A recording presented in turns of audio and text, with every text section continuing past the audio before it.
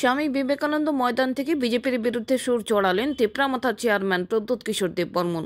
বিধানসভা নির্বাচন নজরে শনিবার আগরতলায় সমাবেশ করল তেপরামাথা সভায় উপস্থিত ছিলেন দলের প্রদ্যুৎ কিশোর দেববর্মন, ফুটবলার বাইচুং ভুটিয়া সহ অন্যরা। সভায় প্রদ্যুৎ কিশোর দেববর্মন এদিন বিজেপি সরকারের সমালোচনা করেন। তিনি অভিযোগ করেন দু হাজার আঠেরো সালে বিধানসভা নির্বাচনের আগে বিজেপির দেয়া দশ হাজার তিনশো তেইশ রেকার মজুরি বাড়ানো, মিস কলেজ চাকরি, সপ্তম বেতন কমিশন সহ বিভিন্ন প্রতিশ্রুতি পূরণ হয়নি। लिए मैं फाइट करता हूं तो लोग बोलते হবে না দশ হাজার তিনশো তেইশ পিছনে কেউ দিন আপনি সাহায্য করতে পারবো না कोशिश तो कर रहा हूं दिल्ली जाकर सुप्रीम कोर्ट में हाई कोर्ट में अपना रुपया देके फाइट तो कर रहा हूं कोशिश तो कर रहा हूं जीतेगा मालूम नहीं कोशिश तो कर रहा हूं दिल से कर रहा हूं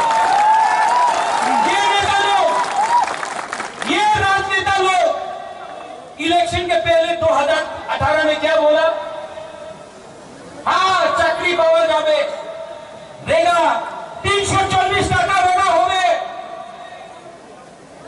क्या बोला? मिस कॉल करो। चाकरी पावर जाबे सेवन पे कमीशन।